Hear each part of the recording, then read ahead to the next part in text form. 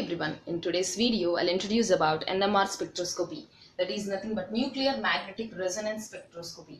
So it is a branch of spec absorption spectroscopy which involves the interaction of radio waves with given substance. That means what here the substance undergoes interaction with the radio waves related to the electromagnetic region and produce a spectrum. This spectrum is useful for studying the structure of the compound.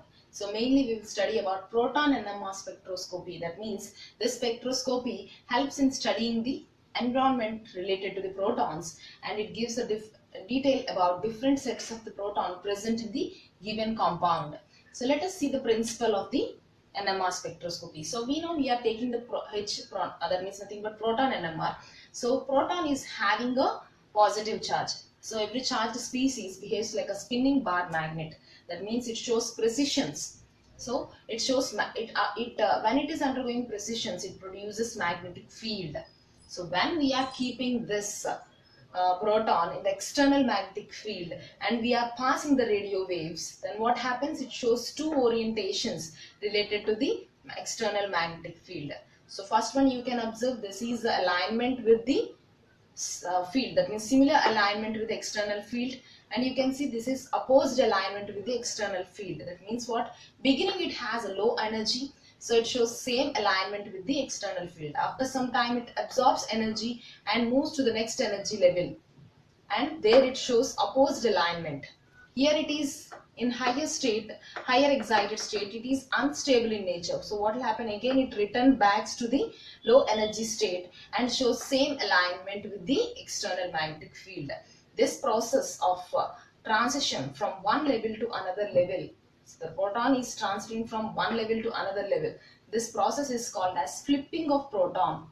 Okay the transition of proton from one energy level to another energy level is called flipping of proton so what we will do in NMR spectroscopy? So for, we will keep the proton in uh, radio wave region. That means we'll keep the substance in the radio wave region and we will change the external magnetic field frequency. The frequency of radio waves remains constant but we will change the external magnetic field frequency.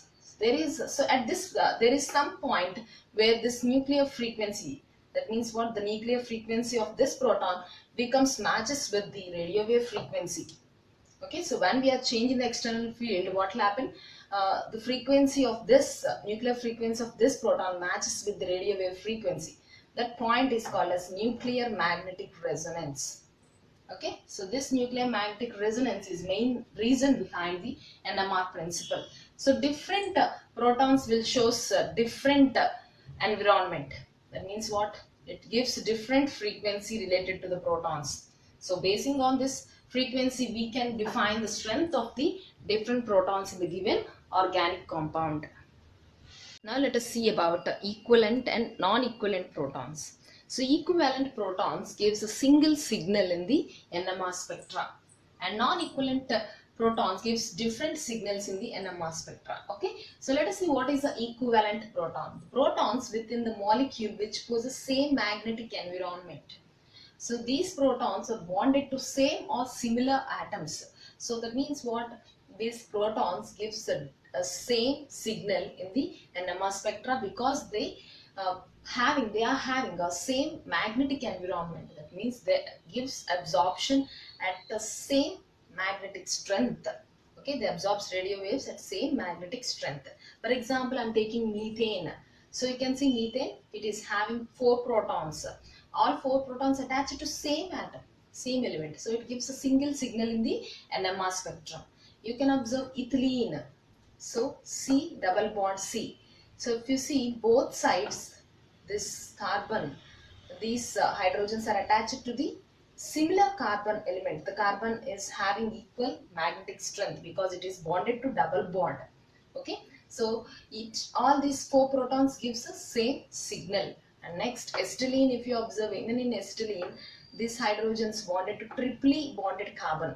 So you can observe same environment same magnetic field in both the protons. So together these two protons gives one signal in the NMR spectrum. Okay Next, see, let us see non-equivalent protons. The protons which are in different magnetic environments. That means they are chemically unequivalent. They are not equivalent in nature. That means they gives, they absorbs uh, uh, radiations at different magnetic strengths. So for example, CH3OH.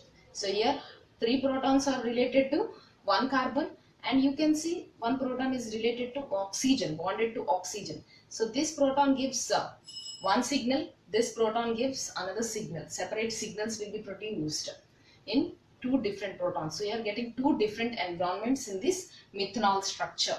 Okay? Because carbon is having different electronegativity oxygen is having different electronegativity. So basing on their electronegativities they'll show de-shielding and shielding and gives different signal in the spectrum. So next class we'll discuss what is shielding and de-shielding.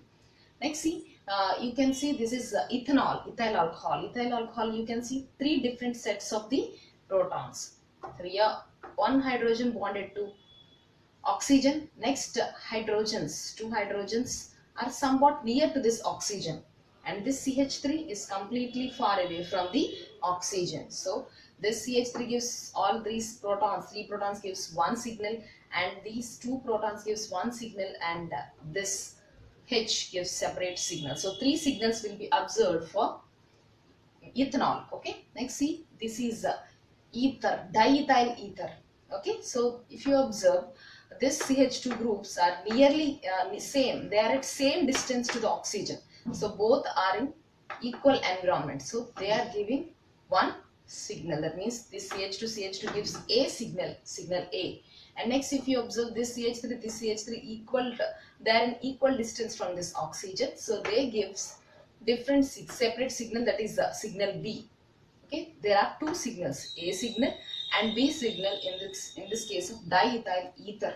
Okay, the protons which are in the same magnetic environment and chemically equivalent protons are equivalent protons. Okay, non-equivalent protons are nothing but they are in different magnetic environment. Okay, so this is about the principle of NMR and equivalent and non-equivalent protons. Thank you so much for watching.